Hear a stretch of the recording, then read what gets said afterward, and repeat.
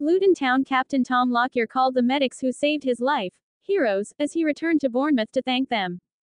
The 29 year old collapsed on the Vitality Stadium pitch after suffering cardiac arrest when the clubs met on the 16th of December. That match was abandoned, and Lockyer attended Wednesday's rearranged fixture and met the medics before the game.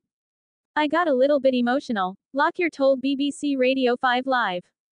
I am quite numb to the whole thing, but being back here, I came into the tunnel area and saw the paramedics that saved my life.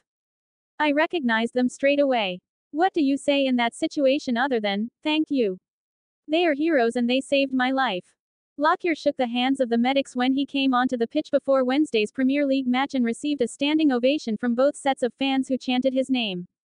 Supporters also applauded in the 59th minute, which was when the defender collapsed in the original fixture.